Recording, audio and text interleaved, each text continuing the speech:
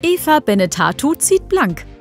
Die einstige Bachelor-Kandidatin darf nämlich ein ganz besonderes Fotoshooting machen. Sie posiert für das Cover des Playboys. Und das will sie wohl schon sehr lange. Es war für mich immer ein großer Traum, irgendwann mal im Playboy zu sein. Lange fühlt sie sich aber nicht gut genug für das Nacktmagazin. Sie glaubt, es nicht schaffen zu können. Die Models habe sie aber immer bewundert. Nun ist sie selbst an der Reihe.